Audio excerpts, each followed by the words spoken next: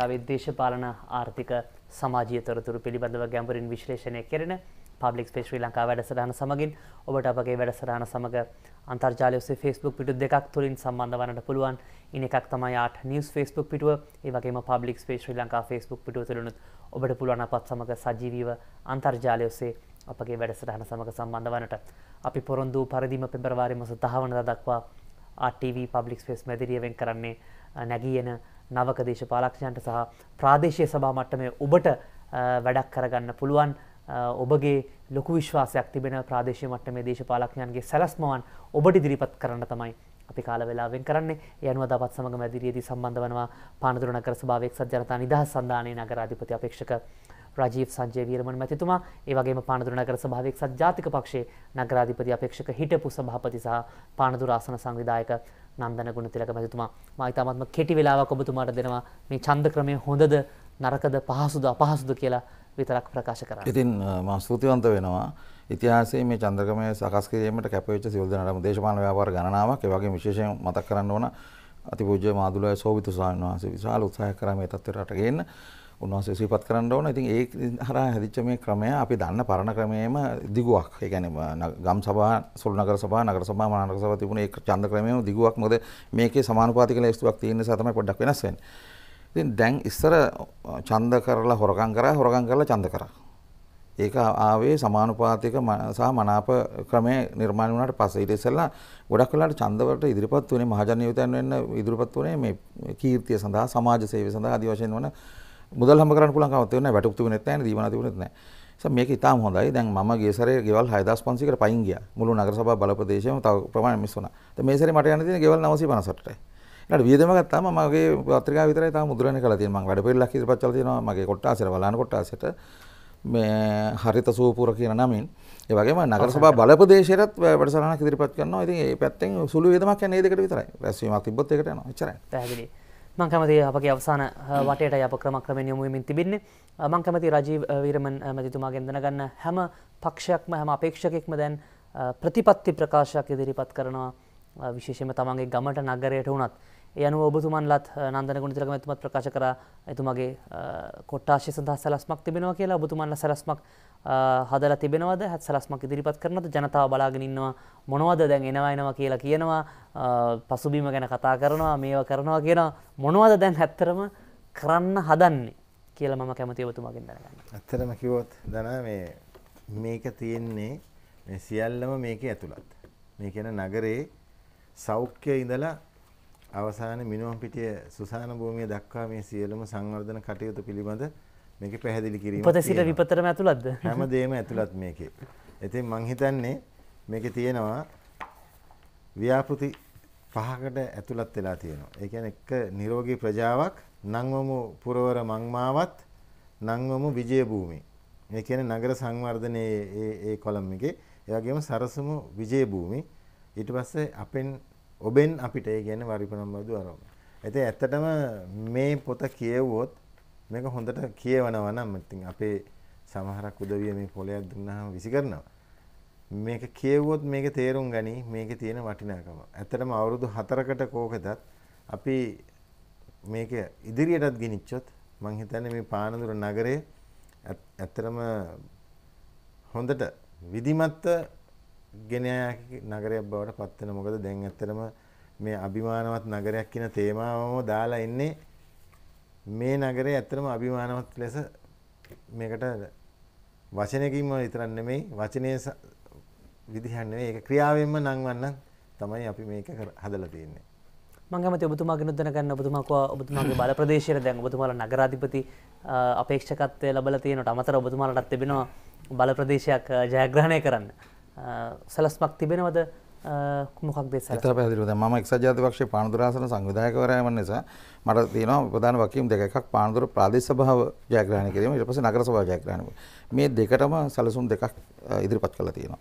ඒ මහජනය අතර පත් වෙනවා ඉතින් නොබෝ දිනකින් මම ගියවතාවේ කියන්නේ අවසානතය සභාපතිවර හැටියට 2011 ඉඳලා 2014 වෙනකන් එතකොට ඒ ඒක ඒ මැතිවරණ ඉදිරිපත් වෙද්දිත් වෙනත් කිසිම කෙනෙක් ඉදිරිපත් කරේ නැහැ. මම පුළුල් වැඩ පිළිවෙලක් ඉදිරිපත් කරා සහ ඒ 175කට වැඩි ප්‍රමාණයක් ක්‍රියාත්මක කරා. ඒක මම ප්‍රදේශීය ජනතාව දන්න. මම වැඩ කරලා සහතික ගත නගරාධිපතිවරයෙක් හැටියට තමයි මෙසර ඉදිරිපත් වෙන්නේ. එතකොට ඒ සැලැස්මේ විසිවැදෑරුම් වැඩපිළිවෙලක් සකස් කරලා තියෙනවා. ඒ විවිධ ක්ෂේත්‍ර අදාළව කරන්න පුළුවන් දේවල්. දැන් උදාහරණයක් කිව්වොත් එහෙම නිවාස ඇමතිවරයා සජිත් ප්‍රේමදාස මහත්මයාගෙන් මොකක්ද අපි ගන්න වැඩේ? හරි ඊට පස්සේ ඉඩම් ඇමතිවරයන් ගන්න වැඩේ මොකක්ද? අපිට ඉඩම් වල උපු දෙන්න තියෙනවා. හරි ඊට පස්සේ අපි ආර්ථික සංවර්ධන ඇමති අග්‍රාමාත්‍යතුමා එතුමාගෙන් මොකක්ද ගන්න වැඩේ? මුදල් ඇමතිතුමාගෙන් මොකක්ද ගන්න වැඩේ? හරි මාර්ග ඇමතුමා ලක්ෂ්මණ කිරියාල ඇමතුමා එතුමාගෙන් මොකක්ද ගන්න වැඩේ? ආදී වශයෙන් අපි ඒ ඒ සම්බන්ධය පාවිච්චි කරලා ඒ අනුව ලබාගත හැකි මුදල් ප්‍රමාණ ගැන යම් අනුමාන සහිතව වැඩ පිළිවෙල සකස් කරලා තියෙන යම්කිසි පදනමක් සහිතව. ඉතින් ඒ නිසා මේ මම විශ්වාස කරනවා මේ සැලැස්ම හරහා මෙතෙක් අපිට කරගන්න කලින් වතාවේ මම නිම කරලා අවසන් කරපු තැන ඉඳලා ඉදිරියට නොනීමි මෙහෙවර කරන්න මේ වැඩසටහන හරහා පුළුවන් කියලා නගර සභාවෙත් ඒ වගේම ප්‍රාදේශ සභාවටත් එවැනි වැඩ පිළිවෙල නිර්මාණය කරලා තියෙනවා. ඉතින් අපි දක්ෂ මන්ත්‍රීවරු හිටපු මන්ත්‍රීවරු ගණනාවක් ඉදිරිපත් වෙලා ඉන්නවා. ඔවුන් සහ නවකයන් එකතු වෙලා ඒ කටයුත්ත ඉතා හොඳින් කරයි කියලා විශ්වාස කරනවා. මොකද එක්සත් ජාතික පක්ෂයේ අමාත්‍යවරු අර වැඩ කරන්න පුළුවන් ගම්වල වැඩ කරන්න පුළුවන් අමාත්‍ය දුර දරණ අය නිසා ඒ පහසුව අපිට තියෙනවා. මමත් හිටපු කැබිනට් ඇමතිවරයෙක් හැටියට මම දන්නවා කොහොමද වෙනත් අමාත්‍යාංශ වලින් කරන්න පුළුවන් බැරිකම් මොකද්ද කියලා. මම හිටපු සංචාරක ඇමතිවරයා සහ තැපල්ලා විදුලි සංදේශ ඇමතිවරයා මම සංචාරක ඇමති හැටියට ඉන්නකොට ලක්ෂ 100ක් වෙන් කරා පානදුරට ඒක ක්‍රියාත්මක කරගන්න බැරි වුණා. ඒවා නමුත් අර නිවාස ඉඩම් මහාමාර්ග මුදල් ආර්ථික සංවර්ධන ඔක්කොම එක්සත් ජාතික පක්ෂයේ අය දරන්නේ. ඉතින් අපිට තියෙන තියෙන සමීප සම්බන්ධතා එක්ක කරන්න පුළුවන් කියලා විශ්වාස කරනවා සැලැස්ම ක්‍රියාත්මක කරන්න. මම කැමති රජයේ වීරමන් මැතිතුමාගෙන් දැනගන්න විශේෂයෙන්ම පානදුර නගරය ගත්තට පස්සේ මේ දැන් දැන් අපි දන්නවා විවිධ ආගම් මත ජාතීන් මත යම් ජාතීන් කෙසේතත් ආගම් මත යම් යම් ගැටලු ඇතිවන තත්ත්වයක් උදා වුණා විශේෂයෙන්ම පානදුර නගරය මේ හා සම්බන්ධ ඉතාමත්ම සුවිශේෂී හේත් කාරණා කිහිපයක් මත එකක් පානදුර වාදය පැවැත්වුණා කාලයකට කලින් නමුත් ඊට වඩා පසුගිය දිනවල පසුගිය සමේ යම් කිසි වෙළඳ සරක් ගිනි ගැනීමක් හා සම්බන්ධව යම් කිසි උණුසුම් තත්ත්වයක් උදා වුණා. ඔබතුමන්ලා විශේෂයෙන්ම විවිධ ජනවර්ග ජීවත් වෙන ප්‍රදේශයක් විදියට ඒ සම්බන්ධ ඔබතුමන්ලා දරන මතවාදයක් ජනතාව දැනගන්න කැමති ඇති. මොකද එක් පාර්ශවයක් පමණක් නොවේ බහුවිධ බහු ආගමික සමාජයක් තමයි පානතුරේ තිබෙන්නේ. මම කැමති ඔබතුමා මොන වගේ මතයක දින්නේ ඒ සම්බන්ධව. ඇත්තටම ජාතීන් අතර බැලුවාම ඔය වගේ දෙයක් සිද්ධ වුණා නම් ඒක ඇත්තටම අපේ රටේ අපේම මුදල් තමයි. ඉතින් මං හිතන්නේ එහෙම දෙයක් කෙරුවා නම් ඒක වැරදි. මොන જાතියින්ගේ වුණත්. ඉතින් ඉදිරියේදී මේ දේවල් නොවෙන්න අපි වග බලා ගන්නත් ඕන. ඉතින් මම ඔබතුමා හිතනද ජනතාව අතර යම්කිසි නොසන්සුන් බවක් තිබෙනවද ඇත්තටම මොකද පානදුරේ අපි දන්නවා බෞද්ධ පුනර්ජීවන නගරයක් ලෙස සලකනවා අර ප්‍රධාන කණුවේ ගහලා තිබෙන්නේ පුනර්ජීවනයේ නගරය කියලා බෞද්ධාගම සඳහා යම්කිසි විශේෂ තනක් ලැබෙන බවක් බැලූ බැල්මට පෙනෙන්න තිබෙනවා. වැරදි වෙන්නට පුළුවන්. නමුත් අපි දන්නවා පානදුර නගර මධ්‍යම කෝවිලක් තිබෙනවා. මුස් ඉස්ලාමික බැතිමතුන්ගේ පල්ලි තිබෙනවා. පන්සල් විශාල වශයෙන් තිබෙනවා. දහම් පාසල් පැවැත්වෙනවා. මේ වගේ විවිධ කළුතර දිස්ත්‍රික්කයේ මෙම පානදුර නගර සභා ප්‍රදේශය තුළ විශාල වශයෙන් ආගම් එකිනෙකට සහයෝගයෙන් වැඩ කරනවා. වෙළඳපොළ වල විවිධ ජාතීන් අතර අපිට කිසිම ගැටලුවක් වෙලා නැහැ. නමුත් එවැනි යම් කිසි උණුසුමක් තිබෙනවද මේ යම් යම් ආගමික කණ්ඩායම් අතර යම් ඝට්ටනයක් ඇති වෙන උණුසුමක් දැනට තිබෙනවද පානදුරේ? අන්න දැනගන්න ඇත්තටම දැන නැහැ එහෙම තත්ත්වයක්. ඇත්තටම පානදුරේ ජනතාව සිංහල මුස්ලිම් දෙමළ ජනතාව අඩුයි. ඒත් අර කෝවිලට යන සංඛ්‍යාව බැලුවම සිංහල බෞද්ධයෝ තමයි වැඩිපුර කෝවිලට යන්නේ. ඉතින් ඒ ඒ ඒ වගේ ගැටලු පානදුරේ නේ මං හිතන්නේ ඔය කියන සිද්ධිය මේක මේ පානදුරේ ජනතාව කරපු දෙයක් නෙමෙයි. ඒක මං හිතන්නේ වෙන සංවිධානයක් ජාති කරල්ලතා එක්ක පැමිණි පැමිණි එකක් හැටියටයි මම දකින්නේ. හොඳයි. මං කැමති නන්දන ගුණතිලක මහත්මයාගෙනුත් දැනගන්න විශේෂම විවිධ ජාතීන් ජීවත් වන නිසා එක්සත් ජාතික පක්ෂ අපේක්ෂකයා විදිහට ඔබතුමාට මොකක්ද මේ විවිධ ජන කොට්ටාස අතර ඔබතුමාගේ මතවාදය මොකක්ද මේ ආගම් ජාතීන් අතර සහයෝගයෙන් මේක කටයුතු කරගෙන යන්න දෙන පණිවිඩය මොකක්ද? පානතුරේ මොනහරියම සංහිධාව සම්බන්ධ ප්‍රශ්නයක් කියන්නේ ජාතින් අතර විරසකම් හෝ ආගම අතර විරසකම් ඇති වුණා නම් ඇති වුණේ ජාතික මට්ටමේ එහෙම ඇති වෙච්ච අවස්ථාවල විතරයි. කියන්නේ 1958 විශේෂයෙන්ම 1983. 83 මම උසස් පෙළ ශිෂ්‍යයෙක් විදිහට උපකාරක මන්දිරේ ඉඳලා රේඩ් බහිනකොට කඩගිනි ගන්නවා. මම ඒ කාලේ එක්සත් ජාතික පක්ෂයේ ඉවත් වීමට හේතුව ඒ කාලේ ඒකමයි. ඒ කියන්නේ සංහිඳවන්න බැරි වීම. ඉතින් එහෙම එකක් ප්‍රාදේශීයව නැහැ. දැන් අපි අපි ප්‍රායෝගිකව දැන් රටේ තියෙන සංස්කෘතික අනන්‍යතාවයන් විවිධ ඒවා එකතු කරන්න බෑනේ. ඉස්ලාම් මුස්ලිම් දෙමළ හින්දු සිංහල බෞද්ධ ක්‍රිස්තියානි කතෝලික ඒවා එකතු කරන්න බෑනේ. ඒ ඒ දාර්ශනික පදනම් ඒවා ඉස්සරහට යනවා. නමුත් අපි ඒ අයට සාධාරණ නියෝජනයක් දිය යුතුයි නේ හැමතැනම. ඒකනේ දැන් තියෙන ප්‍රධාන ප්‍රශ්නේ නේ. ආණ්ඩුව ව්‍යවස්ථාව වෙනස් කරන්න යන්නේ ඒකනේ. ඒතර මම මගේ රාම ජනරලිස්තුව හදද්දී මම මේක ඉතාම හොඳින් සැලකලා ගත්තා. අපේ පාන්දුර ආසනයේ මුස්ලිම් ජනතාව 12000ක් ඡන්දදායක ඉන්නවා. හරි. එතකොට දැන් පාන්දුර ප්‍රාදේශ සභාවේ 112000ක් ඡන්දදායක ඉන්නවා. ඒකෙන් වැඩි ප්‍රමාණය මුස්ලිම් පිරිස එතන ඉන්නේ. ඒ වගේම නගර සභාවේ 24319ක් ඉන්නවා ඡන්දදායක. එයාගෙන් බොහොම සුළුතරයක් ඉන්නේ මුස්ලිම් ඉස්ලාම් සහ දෙමළ මේ හින්දු. එතකොට ඒ අනුපාතයට දල වශයෙන් මම අපේක්ෂකයන් ඉදිරිපත් කරා. ඒක දන්නවා අපේ කතෝලික පියතුමන්ලා දන්නවා අපේ ඉස්ලාම් පල්ලිවල පූජකතුමන්ලා දන්නවා. මොකද මුස්ලිම් අපේක්ෂක ප්‍රාදේශ මම හත් දෙනෙක් ඉදිරිපත් කරලා තියෙනවා. කොට්ටාස පහක කොට්ටාස පහක පස් දෙනෙක් ඉන්නවා. මුස්ලිම් ජනතාව බහුතරය නියෝජනය කරන. ඒ වගේම තව කොට්ටාස දෙකක ඉන්නවා කාන්තාවක් සහ මුස්ලිම් කාන්තාවක් ගුරුවරියක් ඉන්නවා. ඒ වගේම තවත් අපේක්ෂකයෙක් ඉන්නවා. කොහොම හත් දෙනෙක් ඉදිරිපත් කරලා තියෙනවා. කතෝලික අපේක්ෂක එක අපේක්ෂකයෙක් සහ අපේක්ෂිකාවන් දෙදෙනෙක් ඉන්නවා. කියන්නේ මම ඒ කාරණේ ඉතත් තදින් කල්පනා කරා මොකද මේ ජනවාරික වෙනස්කම සහ ආගමික වෙනස්කම හරියටම ඇමතුවේ නැත්නම් අපිට එතන ආරම්භයේදීම අපි යම් පරාජයක් ලබනවා. ඒ කියන්නේ දේශපාලන වශයෙන් නෙමෙයි. සමාජීය වශයෙන් අපි යම් පරාජයක් ලබන මිනිස්සු කල්පනා කරනවා එක්සත් ජාතිපක්ෂය සලකලා නැහැ ඉස්ලාම පිරිස ගැන. එක්සත් ජාතිපක්ෂය සලකලා නැහැ කතෝලික එහෙම නැත්නම් ඇන්ග්ලිකන් අය ගැන. මොකක් හරි ඒ විදිහට ඉතින් ඒ තරම් විශාල පිරිසක් නැහැ වෙනත් අය. ඒ එහෙම සලකලා තමයි එක්සත් ජාතිපක්ෂය කටයුතු කරලා තියෙන්නේ. අපි මෙහෙ විතරක් නෙමෙයි මුළු මහත් රටේම අර එක්සත් ජාතික පක්ෂය කියන නමට ගැලපෙන විදිහට සහ මේ සංහිඳා වැඩපිළිවෙලේ මූලිකත්වය අරන් කටයුතු කරන පක්ෂය විදිහට ඒ ජාතීන් අතර සංහිඳියාව හදන්න ආගම් අතර සංහිඳියාව හදන්න හැම විටම කැප වෙලා තියෙනවා අපි ඒක ප්‍රායෝගිකව ඔප්පු කරලා වෙනවා තියෙනවා. පැහැදිලි. මම කැමති රජීව් වීරමන් මැතිතුමාගෙන් දැනගන්න විශේෂයෙන් පානදුරේ වෙරළ තීරය පිළිබඳවත් ජනතාව අපි දකිනවා සෙනසුරාද ඉරිදා නිවාඩු දවස්වල විශාල වශයෙන් මේ වෙරළ තීරයට පැමිණෙනවා. ඒ වගේම නමුත් පහසුකම්වල අඩුවක් තිබෙනවාදොත් කියලා හිතනවා වෙරළ තීරයට ආවට පස්සේ විශේෂයෙන්ම දරුවන්ට විනෝදවන්නට සමහර වෙලාවට නිසි පරිදි අපි කියන්නේ වැසිකිලි පහසුකම් තිබෙනවද? මූදනාදී ආරක්ෂාවක් තිබෙනවද? මේ පසුගිය දිනකදීත් තරුණයෙක්ගේ ජීවිතයක් බිලිගත්තු බව වාර්තාවන නමුත් අපදුරුව නාවික හමුදාව යම් ජීවිත ආරක්ෂක කණ්ඩායම රැඳී සිටින නමුත් වෙළඳසල් වලට පවා සමහර අවස්ථාවල නිසි ස්ථානය ලැබී තිබෙනවාද කියන ගැටලුව පැන නොනාගිනවාම නොවේ. විශේෂම රේල් පාරත් පසු කරගෙන එම ප්‍රදේශයට වාහන පැමිණෙන නිසා. ඒ පිළිබඳව අවධානය යොමු කර තිබෙනවද සැලස්මක් තිබෙනවද මං කැමති දැනගන්න. ඇතරම දනා වෙරල තීරයට පැමිණෙනකොට මුලින්ම රේල් ගේට්ටුවෙන් ලොකුම බාධාවක් ඇති වෙලා තියෙනවා. ඒ කියන්නේ හවස් වරුවේ සෙන්සුරාදා ඉරිදා වුණත් පොයේ දවසේ වුණත් ගමනන් මාර්ගය. දුම්රිය මාර්ගය. ඉතින් ඒ වෙලාවට රේල් ගේට්ටුව වැහුවාම ඒ වාහන තදබදේ ඇති වෙනවා. ඒ වගේම පොලිසියේ ඉඳලත් ඒ සේවාව හරියට දෙන්න බෑ. මොකද ත්‍රී වීල් කට්ටිය වෙනවම හැසිරෙනවා, මෝටර් සයිකල් කට්ටිය වෙනවම හැසිරෙනවා. ඉතින් අර රෝද හතරේ ලොකු වාහන වලට විතරයි පොලිසිය මැදිහත් වෙන්න පුළුවන්. ඉතින් ඒ කොහොම වුණත් අපි ඒ කාලෙත් අපි පාරක් අපි සමාන්තර පාරක් අපි යෝජනා කෙරුවා. නමුත් ඒ ඒ සමාන්තර පාරත් තියෙන රේල් ගේට්ටු දෙක අතරමයි.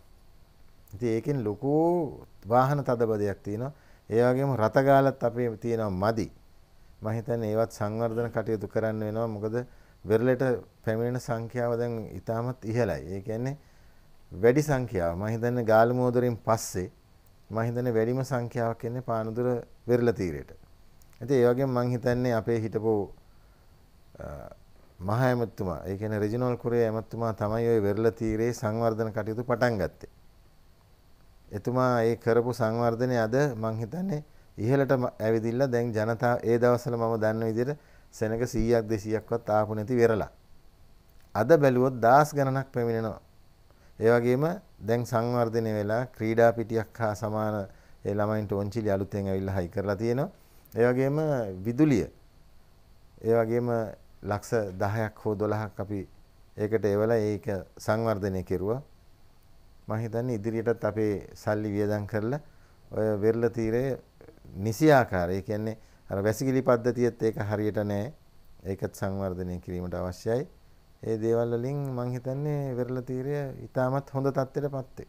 මම කැමති නන්දන ගුණතිලක මැතිතුමාගෙනුත් එම ප්‍රශ්නය මෙමු කරන්න වෙරළ තීරය සම්බන්ධයෙන් ඔබතුමාගේ තිබෙන සැලස්ම කුමක්ද. ඔව් දැන් එකක් තමයි මේ විරමණ මැතිතුමා කිව්වා වගේ රිජනල් කුරිය මැතිතුමා කාලේ තමයි වෙරළතීරයේ සංවර්ධන කටයුතු පටන් ගත්තේ. දේශීය සංචාරකයන් සහ විදේශීය සංචාරකයන් සුදුසු තැනක් විදිහට සකස් කරන්න පටන් ගත්තේ. ඉතින් මට මම කියන්නේ අතරම සතුටු වෙනවා මම මට ඒක අඛණ්ඩව කරගෙන ඉස්සරහට යන්න පුළුවන්කම ලැබුණා. මම සභාපති හැටියට ඉන්න කාලේ ওই දැනට තියෙන අර මේ දියේ මේ කියන්නේ මොහොතේ නානායට ආරක්ෂාව ලබා දෙන ඒ ආරක්ෂක කුටිය නගර සභාව මෙතුමන්ලගේ අනුමැතිය සහිතව මන්ත්‍රීවරුන්ගේ අනුමැතිය නැතුව මුදල් වෙන් කරන්න බෑ. සහිතව ඒ ආරක්ෂක කුටිය සකස් කරේ ඒ කාලේ විජේගුණවර්ධන මහත්තයා හිටියේ නාවික හමුදාවේ අංශය භාරව වෙරළ ආරක්ෂක මේ බලකාය භාරව ඉතින් එතුමා සම්බන්ධ වුණා අපි ආරක්ෂක කුටිය හදලා දුන්නා. එතන ප්‍රශ්නේ තියෙන්නේ මේ මහජනතාව ඒ එයාගේ ඉල්ලීම් පිළි මේ පිළිපදින්න නැති ප්‍රශ්නේ. ඒ කියන්නේ සීමාවක් දාලා තියෙනවා කොඩි දෙකක් ඉඳලා තියෙනවා. ඒ සීමාව ඇතුලේ මුදල යනවා නම් ඒගොල්ලෝ ඕන වෙලාවක ලෑස්ති මේ හදිසියක් වුණාම ඇවිල්ලා බේරගන්න. ඉතින් ඒක විතරක් නෙමෙයි මම සභාපතියට ඉන්න කාලේ රජනල් කුරේමත්තුමා පටන් ගත්ත ඒ සංවර්ධන සැලැස්ම තවදුරටත් සංවර්ධනය කරමින් නාගරික සංවර්ධන අධිකාරියත් එක්ක සාකච්ඡා කරලා වාඩි වෙලා සැලසුම හදලා ඔය උතන එතන තියෙන අර මේ ස්ටේජ් එකක් හදලා එතන අර කොලෝසියම් එකක් වගේ හැඩයට එකක් හදන්න. ඒ වගේම බැසිකලි කියන්නේ මේ සනේ පාරක්ෂක පහසුකම් වෙනම අර මෙහා පැත්තේ තියෙන අධිකරණ අමාත්‍යාංශයට අයිති භූමියක් ඒකයි. තවත් වාරි මාර්ග අමාත්‍යාංශයට අයිති භූමිය. ඒක ඒක අරගෙන වෙරළ තීරය සංවර්ධනය කිරීම ව්‍යාපෘතියේ කොටසක් විදියට. එතන කඩකාමර ඔය තියෙන ඒවා වගේ නෙමෙයි. ඉතා දියුණු කඩකාමර පේලියක් ඒ රෙස්ටෝරන්ට් එකක්. ඒ වගේම ළමා ක්‍රීඩාංගණය වැඩි දියුණු කරන්න. ඒ වගේම බීච් වොලිබෝල් වලට තැනක් ඒ පාකින් ස්පේස් එකක් මම බාගෙට හැදුවා අතර මෙතුමන්ලත් ඒ කලේ නාගරික මන්ත්‍රීවරු හැටියට ඒවා මුදල් අනුමත කරා. ඒතර පාකින් ස්පේස් එකක් ඒ සහ මේ කියන්නේ පිටින් එන අයට අවශ්‍ය සියලුම පහසුකම්. එතන ගොඩනගන්න මේ ඒ සැලසුම කරා. ඒතර ඒ වගේම නගරෙත් තව මේ දැන් අපි හදාගෙන යනවා ආතර වීදිය සුද්ධායන. ඒකත් ඒ කාලේ කරපු සැලසුමක්. ඒක ආතර විදේශ මැතිතුමාගේ පිළිමේ පවා මම යෝජනා කරපු එකක්. ඒ වගේම නම පවා යෝජනා කරේ මම. ඉතින් අර ඒ වගේ අර පැරණි උරුමයන්ට සලකන මේ මේ කටයුතු වගේම මහජනයාගේ විනෝදාස්වාද කටයුතු සඳහා වන ස්ථාන වැඩි දියුණු කිරීම කියන කාරණා දෙකම අතරම මේ අපේ නාගරික සංවර්ධන මේ බස්නාහිර පළාත් බස්නාහිර සංවර්ධන සහ මෙගාපොලිස් කටයුතු පිළිබඳ අමාත්‍යතුමා විශේෂ මදිහත්වීමක් කරනවා. මෙතන මෙතුමා කියවර එක ප්‍රශ්නයක් තියෙනවා. ඒ කාලේ තිස්සේ ප්‍රශ්නයක්. වෙරළට යන රේල් ඒ කියන්නේ රේල් ගේට්ටුව. ඒ එතන ෆ්ලයිಓවර් එකක් නැතුව ඔය ප්‍රශ්නේ විසඳන්න බෑ. ඉතින් ඒකත් අපිට අනාගතයේ ගන්න පුළුවන් වෙන විශ්වාසය තියෙන එක සාකච්ඡා කරලා තියෙනවා. මොකද මෙගාපොලිස් වැඩපිළිවෙල යටතේ පානදුර දුම්රියපල මේ කේන්ද්‍රගත කරගෙන ට්‍රාන්ස්පෝර්ට් හබ් එකක් මේ ප්‍රවාහන මධ්‍යස්ථානයක් ගොඩනගෙනවා. ඒකෙම කොටසක් විදිහට අපිට ෆ්ලයිಓවර් එක දාගන්න පුළුවන්. එතකන් ඔක විසඳෙන්නේ නැහැ. එතන ඉඩම් පවර ගන්න වෙනවා යම් ප්‍රමාණයක් එහෙම කරගෙන කරනවා. ඉතින් ඒ විදිහට තමයි මේක විසඳන්නේ. මම සංචාරක ඇමතිවරයා හැටියට ඉන්නකොට ලක්ෂ 100ක් වෙන් කරා මේ වෙරළ සංවර්ධන කටයුතු වලට. නමුත් ප්‍රාදේශීය ඇතිවෙච්ච බෙදා ගැනීමේ ප්‍රශ්න කියලා මට පස්සේ දැනගන්න ලැබුණා. ඒ මුදල එහෙම පිටිම ආපහු වණ්ඩාගරට ගියා. ඉතින් එහෙම උනන්දුවක් මට ඉතිහාසයෙන් දැනම තිබුණා. අපි මේ අපේ විරමණ මැතිතුමත් කවුරුත් ඒ ගැන මෙතුමා ඉන්නෙත් ඒ කිට්ටුව උනන්දුවෙන් කටයුතු කරනවා. නමුත් අපේ සැලැස්ම තියෙනවා. එක්සත් ජාතික පක්ෂයේ විදිහට අපේ සැලැස්ම තියෙනවා. ගාල් කොළඹ ඉඳලා ගාලු මෝදර සිට මේ මේ දකුණ දක්වා යද්දී තියෙන ගාලු මෝදර අරණම තියෙන ප්‍රධානම වෙරළ විශාලම වෙරළ. ඒක හැකි උපරිම ලෙස දේශීය සංචාරකයන්ට විශේෂ කොටගෙන සංවර්ධනය කරන්න. හොඳයි. අපි සාකච්ඡාවේ අවසානම භාගයට පැමිණෙන්න මට තව ප්‍රශ්න දෙකක් තිබෙනවා ඔබ දෙපළගෙන්. දැනගන්න මම කැමති සෞඛ්‍ය තත්ත්වය පිළිබඳව දැනගන්න පානදුර රෝහල ඊ타මාත්ම සුවිශේෂී එම අතර මැද තිබෙන ඊ타මාත්ම ජනතාවට විශාල සේවයක් සපයන ජනතාව නිතරම යනේන රෝහලක්. සෞඛ්‍ය තත්ත්වය කොහොමද? ඩෙංගු පිළිබඳ වාතාවරණය කොහොමද? සහ පානදුර රෝහලේ තත්ත්වය පිළිබඳවත් මම කැමති දැනගන්න ඔබතුමාගෙන් රජී වීරමන් මැතිතුමාගෙන්. අතටම පානදුර නගරේ මේ දවස් දෙකේ නම් ඩෙන්ගු මේ රෝගීන් සංඛ්‍යාව අඩුයි. ඒක වැඩිපුර ඇවිදලා තිබුණේ කෙසෙල්ලත්ත කලාපේ. ඒ කියන්නේ එහෙන් මං හිතන්නේ පේෂන්ස්ලා 15ක් 17ක් අතර වගේ පැමිණිලි කරලා තිබුණා. ඒ කියන්නේ MOH එක හරහා අපිට පැමිණිලි ලැබෙනවා. නමුත් නගරේ මන් දන්න තරමට දෙන්නයිද කොහෙද? ඉතින් සුළු සංඛ්‍යාවක් තමයි නගර සභා සීමාව. ඉතින් අපිට මේ ඉදිරියේදී මේ නගර සභාවේ පරිපාලනයත් එක්ක ඒ ඩෙන්ගු ව්‍යාපෘති අනිකුත් බෝවන රෝග මර්ධනය කරන්න අපි පියවර ගන්නවා. ඒ වගේම අපි මේ වැඩ කටයුතු වලට අපි මම හිතන්නේ මම ඇමතුමත් එක්කත් කතා කරලා කිව්වා මේ කානු පද්ධතිය අවශ්‍යයි. සමහරක් කානු කැඩිලා වතුර ටික බහින්නේ නැහැ. අනේ ඒ ව්‍යාපෘති සංඛ්‍යාව අපි සංවර්ධනය කරලා මේ මේ බෝවන රෝග මැඩ පවත්වන්න පුළුවන් වෙයි කියලා මම හිතනවා. නන්දන ගුණතිලක මැතිතුමා පානදුර රෝහල සහ පානදුර සෞඛ්‍ය තත්ත්වය පිළිබඳ කුමක්ද ඔබතුමාගේ තිබෙන සැලස්ම? පානදු රෝහල හැම ආණ්ඩුවක්ම විටින් විට සංවර්ධනය කරලා ඉතා හො- ඉහළ හොඳම තත්ත්වයක තියෙනවා එනකොට ඇත්තටම. ඒකට තව ගොඩනැගිල්ලක් එන්න තියෙනවා. පහුගිය වසරේ මම හිතන්නේ මුදල් ප්‍රශ්නයක් ඇති වුණා. නැත්තම් තට්ටු පහක විතර තවත් ගොඩනැගිල්ලක් එන්න තියෙනවා. ඒකත් එක්ක ඒ තව වැඩි දියුණු වේවි. ඒ වගේම එක්සත් ජාතික පක්ෂයේ හිටපු පාර්ලිමේන්තු මන්ත්‍රී දොස්තර නෙවිල් ප්‍රනාන්දු මැතිතුමා තමයි කේතුමති රෝහල ගොඩනැගුවේ ලංකාවේ කොළඹින් පිට තියෙන එකම මාතෘ රෝහල ගොඩනැගුවේ. ඉතින් ඒහිත් සංවර්ධන කටයුතු ඉදිරියේදී වෙන්න නියමිත. තවත් ගොඩනැගිල්ලක් ඒකටත් එන්න තියෙනවා. එම්මෝච කරත් ගොඩනැගිල්ලක් එන්න තියෙනවා. මේ කියන්නේ මහ ජනයාට පහසුකම් වැඩි කිරීම සඳහා වන භෞතික සංවර්ධන කටයුතු ඒවා යෝජනා වෙලා තියෙනවා. ඉදිරි වර්ෂ කිහිපෙදී ඒවා සිද්ධ වෙයි. එතකොට ඒ ඒ පැත්තෙන් ඒ කියන්නේ භෞතික සම්පත් පැත්තෙන් සහ රෝහල් වල ඒ කියන්නේ අව- අවශ්‍යම පහසුකම් පැත්තෙන් එහෙම සංවර්ධන කටයුතු සැලසුම් වෙලා තියෙනවා. අලුත් ආණ්ඩුව පැත්තෙන්. එතකොට ඒ දැන් ඔය ඇත්තටම ජලය රඳා පැවතීම කියන එක විශේෂම කාණු පද්ධතිය අර ලංක- පානදුරේ ඕනම නගරයක තියෙනවානේ මේ අ, මට්ටම් කියන්නේ ලෙවල් ෂීට් එකක් තියෙනවානේ. ඉතින් ඒ ඒ- ඒක තියෙද්දි ඒක පැත්තක තියාගෙන තමයි කාණු හදලා තියෙන්නේ. වතුර බසන්න දැන් එකක් ඒක අනිත් එක ඒ කියන්නේ කාණු හරිවල හරියට වතුර බහින්නේ නැහැ. කාණු ඒ වෙලට ලැබෙන මුදලට කාණුවක් කොහේ හරි බඳිනවා. ඒක එහෙට බහිනවද මෙහෙට බහිනවද කියලා කවුරුත් දන්නේ නැහැ. ඉතින් ඒක තමයි ඉතිහාසයේ සංවර්ධනයේ ප්‍රශ්නයක් තියෙනවා. ඒ වගේම නගර සභාවත් වගේ කියන්න ඕන ඉතිහාසයේ අ, හරියට නීතිරීතය අනුව සැලසු මනවත කරානම් ඔය තියෙන ජල ජලය රඳා පැවතීම ජලයට අටවීම ප්‍රශ්න වෙන්නේ නෑ. ඉතිහාසේ දැන් ඔය තාප් ගොඩක් ඇති ඇදෙන ඉස්සලා පාරවල් අරම හැදෙන ගෙවල් හැදෙන ඉස්සෙල්ලා වතුර ටික ඊඩමෙන් ඊඩමට ගලාගෙන ගිහිල්ලානේ මොදට ගිහී. එහෙම නැත්නම් ගඟට බැස්සේ. ඒතකොට දැන් ඒ ඒ తত্ত্বය පැවතින විදිහට මේ ගොඩනැගිලි ඉදිකිරීම සහ තාප්ප හදන්න ඉඩ දුන්නා නම් පගාවල් ගන්න නැතුව සැලසුම් දැන්ටත් එහෙම තියෙනවා. දැන් මේ දේන නගර සභාවේ තියෙන ප්‍රධාන ප්‍රශ්නයක් දැන් සියල්ලම් පගාවට යට වෙලා මේ නගර සභාව. මගේ කාලේ මම සම්පූර්ණ බින්දුවරෙන් බැස්සුවා. අතර මට ගැන ආඩම්බර වෙන්න පුළුවන් මම බින්දුවර බැස්සුවා. කිසි කෙනෙකුට මේ මේ අ, මුදල් වලට වැඩ කරන්න ඉඩ තිබ්බේ නැහැ. ඒක නගර සභාවේ නිලධාරි මහතුරු සාක්ෂිදාරයි.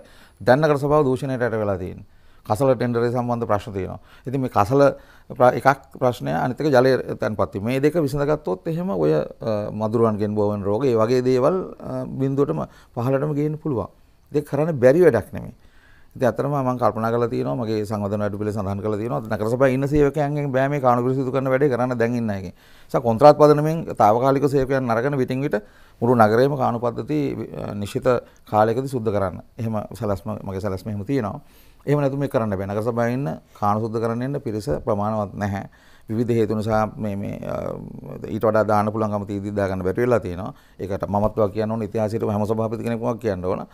නමුත් අ, ඒ අපි සභාවතුර හැටියට පත් වුණාම මේ තත්ත්වෙට මුහුණ දෙනවා. ඉදිරියේදී මේක විසඳන්න පුළුවන්කම තියෙන්නේ ඔය සෞඛ්‍ය තත්ත්වය යහපත් කරන්න දෙන වැදගත්ම පියවර දෙකක් තමයි ජලය නදා පැවැත්මයි අ, කසල ප්‍රශ්නය විසඳන එක. ඒකට අපි ලෑස්ති. හොඳයි මම ඔබතුමන්ලා දෙපලට යොමු කරන අවසාන ප්‍රශ්නය මම එතෙක් වෙලා ඔබතුමන්ලා දෙපලටම එකම ප්‍රශ්නය තමයි යොමු කරේ අ, නමුත් මං කැමති දැන් දෙදෙනාට ප්‍රශ්න දෙකක් යොමු කරන්න වෙන වෙනම පිළිතුරු ලබා දෙන්න මං කැමති නන්දන ගුණතිලක මහත්මයාට මුලින්ම මේ ප්‍රශ්නය යොමු කරන්න. ඔබතුමා හිටපු ජනාධිපතිවරණ අ, අපේක්ෂකයෙක් ඉන අනතුර ඔබතුමා කැබිනට් ඇමතිතුරයක් දරුවා අ, සාමාන්‍යයෙන් දේශපාලනය එන්නේ අනිත් පැත්තට ප්‍රාදේශීය සභාවෙන් පටන් අරගෙන තමයි ජනාධිපතිවරයා දක්වා යන්නේ. නමුත් ඔබතුමා දැන් ජනාධිපතිවරයාගේ ජනාධිපතිවරණ මැතිවරණ ඉඳලා ඉන් පහලට පහලට කියලා මම කියන්නේ තනතුරක් වශයෙන් ගත්තට පස්සේ ප්‍රදේශය අනුව ගත්තට පස්සේ රටම අ, අපේක්ෂා කරන තනතුරක ඉඳලා ඔබතුමා දැන් නගරයක් ඉල්ලන ඉල්ලන මැතිවරණයකට තම ඇවිල්ල තිබෙන්නේ. ඇයි එහෙම තීරණයක් ගත්තේ? සහ මොකක් දේ තීරණය පිටු පස තිබෙන සාධකය කියලා මයිතා කෙටියෙන් දැන ගන්නකම ඕද ම දේශපාල පක්ෂල නායකත්වයෙන් දරල තියනවන අපි ගත්තොත් එම එක්සත් ජනතා නිදා සන්ධානය ආරම්භක සභාවති ම ජනතතුරණ ආරම්භක යන අරවසනයෙන් පස්සේ අපදාන ලේකම් මම. ජාතික දස් පරවණේ හිට උපදාන ලේකම් මම. ඒවගේ තරඳුර දරලා තියෙනවා. ඒකට ඕනම දේශපාලනඥයෙක් තියෙනවා නැගීම් සහ වැටීම් කියන දේ. ඒක ඕන කෙනෙකුට පොදුයි. දැන් අපි කල්පනා කරනවා නම් අපි වයසට යන්න යන තවත් ලොකු දේවල් වලට යන්න පුළුවන් කියලා ඒක මොඩකමක්. දැන් මගේ මගේ ප්‍රස්ථාරයේ ඉහළම තැන මම කැබිනට් එකේ හිටියනේ. ඉඳලා ඉතින් ඒක ඊට පස්සේ පහළට ඇවිල්ලා තියෙනවා. ඒක ප්‍රශ්නයක් නෙමෙයි මට පෞද්ගලික මට අවශ්‍ය වැඩ කරන්න පමණයි. මගේ පා- වැද- වැදගත්ම දේ ජීවිතේ පවතින අතුරා අනිත් අය වෙනුවෙන් යමක් කිරීම. ඉතින් ඒකට ඉන්න තැන අදාළ නැහැ. ඒකට අන්තික මම පටන් ගත්තේ ප්‍රාදේශ නෙමෙයි මම පළාත් සභාවෙන් පටන් ගත්තේ පාර්ලිමේන්තුවට ගියා. ඊට පස්සේ මාව දැම්මා ජනාධිපතිවරුන් ඉදිරිපත් කරා පක්ෂ කිහිපයක් එකතු වෙලා. ඊට පස්සේ මම ආපහු පාර්ලිමේන්තුවට ගිහලා ආපහු මේ නගර සභාවේ ගිය වතාවේ හිටියා. ඒක අදාළ නැහැ. ඒක අදාළ නැහැ. ඉන්න තැන අදාළ නැහැ. කරන වැඩේ මොකද්ද කියලා වැදගත් වෙන්නේ. ඉතින් මගේ සීමාව ඇතුලේ මට කරන්න පුළුවන් උපරිම දේ කරන්න මම සූදානම්. ඒක මට අදාළ වෙන්නේ නැහැ. ඉතින් මම නගර සභාවේ මේක කරලා පෙන්නුවා. මම අමාත්‍යවරයාදිත් එහෙම කරලා පෙන්නුවා. පාර්ලිමේන්තු මන්ත්‍රීවරයෙක් හැටියට ඉන්න කොටත් කරලා පෙන්නුවා. මොකද අපි අරපෙරමැස්ම හොඳට ඉගෙන ගත්ත මිනිස්සු. දූෂණයට විරුද්ධ මිනිස්සු. කාර්යක්ෂමතාවයට බොහොම පක්ෂ මිනිස්සු. ඒ නිසා ජනාධිපතිපුරුවයට යන්න බෑනේ මට. මම කැබිනට් එකේ හිටියනේ. ඒ කොතන හිටියත් මම ඒ දේ කරා. ඉතින් වපසරිය අදාළ නැහැ. ඒක අදාළ නැහැ. ඒක ඉතින් එහෙම තමයි. දැන් මම 1,35,000ක් මනාපගත කල්තර දිස්ත්‍රික්කයේ ඒ තිබුණ දේශපාලන තත්ත්වයේ යටතේ. හරි. ඒක මගේ පෞද්ගලික ඡන්ද නෙමෙයි. ඒකේ තිබුණ මම නියෝජනය කරපු දේශපාලන ඒ අවස්ථාව ඒක. හැබැයි ඊට පස්සේ හැරි මම 30000 ගත්තේ. හරි. ජනතා විමුක්ති පුරවණේ ඉන්න කාලේ ඊට වඩා අඩු ප්‍රමාණයක් ගත්තේ මුලින්. ඊට පස්සේ ටික ටික වැඩි වුණා. දැන් ඊට පස්සේ මම ගිය අවතාවේ මැතිවරණයේදී මාස දෙකක් වගේ කෙටි කාලෙකදී ආසන සංවිධායක හැටියට මගේ ආසනය වැඩිම මනාප මම ගත්තා. අජිත් පෙරමැතිතුමාට වඩා 124යි මම අඩු වුණේ. එතුමා ඊට මට කලින් ආසනය වැඩ කරා. ඒතර රාජිත සේනාරත්න මහත්තයා මට වඩා ටිකක් අඩුවෙන් ගත්තේ. ඒතර ආසනය පරිමනාප මම ගත්තා. මාස දෙකකදී සංවිධායක ධූර ලබාගෙන. ඉතින් එහෙම තමයි එහෙම වෙනවා. ups and downs තියෙනවා. ඒක ප්‍රශ්නයක් නෙමෙයි. හැබැයි ඉන්න තැන මොකක්ද කියන එක මේ ප්‍රශ්නේ මම වැඩ කරන්න ලෑස්තිද? දූෂණයට විරුද්ධද? කාර්යක්ෂමව වැඩ කරනවද කියන එක විතරයි. මම ඒ විදිහට වැඩ කරනවා. කොතන හිටියත්. මම කැමතියි රජී විරමණ මැතිතුමාට ඔබතුමාටම සුවිශේෂී ප්‍රශ්න යොමු කරන්න. ඔබතුමා සමග අනිත් පැත්තෙන් ඇවිල්ලා ඔබතුමාගේ පාසල් කාලේ මිත්‍රයෙක් සහ ජනාධිපතිවරණ අපේක්ෂකයෙක්. කැබිනට් අමාත්‍යවරයෙක් සහ අධ්‍යක්ීම් සමූහයක් තිබෙන හිටපු මන්ත්‍රීවරයෙක්. කොහොමද මේ අභියෝගයට මුණ දෙන්න ඔබතුමා සූදානම්ද ඔබතුමා දකින්න කොහොමද මෙම ප්‍රස්ථාරය ඇතුලේ නෑ මටත් මේකට අවස්ථාවක් තිබෙනවා සහ මටත් මේකට සුදුසුකමක් තිබෙනවා කියලා ඔබතුමාගේ ජනතාව ඔබතුමාට ඔබතුමා ජනතාවට ඒත්තු ගන්නවන්නේ මොන පදනමේ ඉඳලාද? ඇත්තටම කිසිම ගැටලුවක් නැහැ මෙතුමත් සමග නගර සභාවේ ජනතාවට දෙන සේවාව පිළිබඳ. මොකද අපි දෙන්නගෙම එකම මතයක් තිබුණේ. අපි දෙන්න සභාවේ වැඩ කෙරුවෙත් එහෙමයි. මොකද මෙතුමන්ට සහයෝග දැක්වුවා වංචාව දූෂණය ඒ පිටු දකින විදිහට. ඒ ඒ නිසායෙන්ම තමයි අද මම එක්සත් ජනතා නිදහස් සන්ධානයෙන් අද තරඟ වදින්නේ. ඒ තරඟ වදින්නේ මේ පානදුර නගර සභා සීමාවට. ඒ නගර සභා සීමාවේ වැඩි කාලයක් මැතිවරණ වලට මුහුණ දීලා නගර සභා මන්ත්‍රීවරයෙක් වුණේ මම. අවසාන වශයෙන් උනේ මට අසාධාරණයක් සිද්ධ වෙලා ස්වාධීන මන්ත්‍රීවරයෙක් වෙලත් මට මිනිස්සු මාව නගර සභාවට තෝරලා එව්වා. ඉතින් මම දන්නවා මෙදා පාර පානදුර නගර සභාව මා කෙරෙහි විශ්වාසය තියලා බලය ලබා දෙයි කියන එක. මොකද බලනවා ජනතාව වෙනස් වීම බලනවා. මනුස්ස ස්වභාවය ඒකයි. ඉතින් අපි පෙබරවාරි 10 වෙනිදා හවස වෙනකොට අපිට මේ තීන්දුව తీරන බලා ගන්න පුළුවන්. ඒක තමයි පානදුර ජනතාවගේ මතය. මං කැමති ඔබතුමන්ලා දෙදෙනාටම අවසාන මිනිත්තුවක් ලබා දෙන ජනතාවට ඔබතුමන්ලගේ අවසාන පණිවිඩය ජනගත කරමින් සාකච්ඡාව අවසන් කරන්න මම කැමති නන්දන ගුණතිලක මහත්මයා ඔබතුමාට අවස්ථාව තිබෙනවා ජනතාවට ඍජුව ආමන්ත්‍රණය කළ ඔබතුමාගේ පණිවිඩය පානදුර නගර සභාව වාසීන්ට ලබා දෙමින් මේ සාකච්ඡාවට අවසානය සහ විරාමය තබන්න. මම පෞද්ගලික අදහසකට වඩා එහා ගිය අදහසක් කියන්න කැමතියි. මොකද එක්සත් ජාතික පක්ෂය මේ ආණ්ඩුව ආණ්ඩුවේ වැඩි පංගුව මේ ආණ්ඩුව ගොඩනගන්න දායකත්වයේ දීපු වැඩි කණ්ඩායම එක්සත් ජාතික පක්ෂයේ උමනාව ආණ්ඩු බලය යොදා ගනිමින් නගර සභාවල තියෙන ස්වාධීන බලයත් ආණ්ඩු බලයත් එහෙම නැත්නම් ප්‍රාදේශ සභාවල ස්වාධීන බලයත් ආණ්ඩු බලයත් යොදා ගනිමින් ඒ ප්‍රදේශ ගාමීය ප්‍රදේශ සංවර්ධනය කිරීම නාගරික ප්‍රදේශ සංවර්ධනය කිරීම දැන් අපි ගම හදන ආණ්ඩුව කියලා අපේ සම්මේලනයේ තේමා පාඩේ වුණොත් ගම හදන ආණ්ඩුව ඒ ගම හදන ආණ්ඩුව කියන්නේ ආණ්ඩුවට තමයි ගම හදන්න පුළුවන් කියන ගණීමෙන් කියන්නේ මොකද වරපණ වලින් විතරක් වැඩ කරන්න බෑනේ.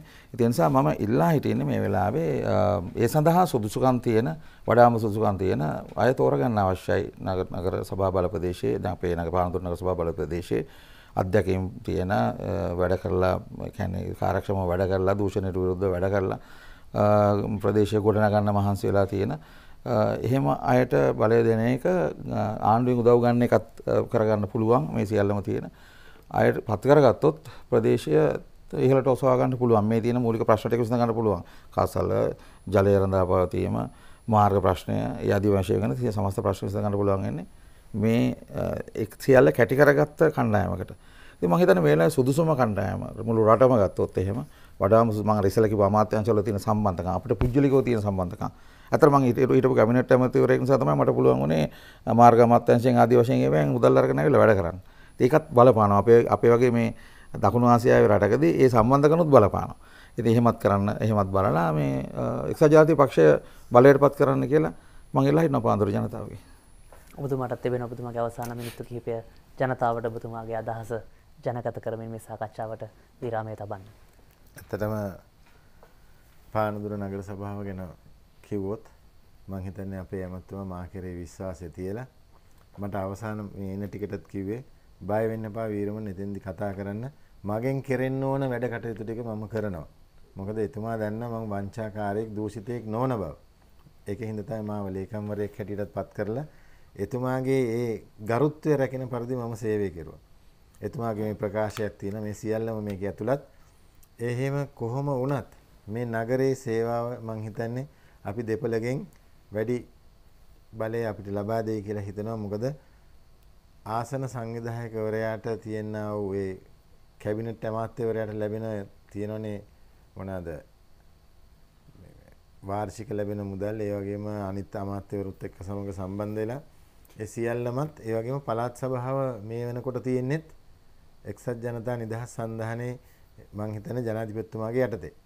ඉතින් මං හිතනවා අපිට මේ මුදල් ඒ සියල්ලම ලබා ගන්න පුළුවන් මේ නගර සභාව දියුණුව කරා ගෙන යන්න. එච්චරයි කියන්නේ. හොඳයි. අද අපත් සමග සාකච්ඡාවට සම්බන්ධ වුණේ පානදුර නගර සභාවේ එක්සත් ජනතා නිදහස් සන්ධානයේ නගරාධිපති අපේක්ෂක රජීව් සංජය වීරමන් මහතා. අපි ඔබතුමාට ඉතාමත්ම ස්තුතිවන්ත වෙනවා අපත් සමග අද සාකච්ඡාවට සම්බන්ධ වුණාට. ඒ වගේම අද අපත් සමග සම්බන්ධ වුණා පානදුර නගර සභාවේ එක්සත් ජාතික පක්ෂයේ නගරාධිපති අපේක්ෂක හිටපු සභාපති සහ පානදුර ආසන සංවිධායක නන්දන ගුණතිලක මැතිතුමා ඔබතුමාටත් බොහොමත්ම ස්තුතියි. අපත් සමග සාකච්ඡාවට සම්බන්ධ වුණාට ඔබටත් බොහොමත්ම ස්තුතියි අපත් සමග මෙතෙක් වෙලා සාකච්ඡාවත් සමග රැඳී සිටියට. අපි පොරොන්දු පරිදිම ඔබව හමු වෙනවා ලබන අඟහරුවාදාත් හරියටම රාත්‍රී 9ට පබ්ලික් ස්පේස් ශ්‍රී ලංකා වැඩසටහන සමගින්.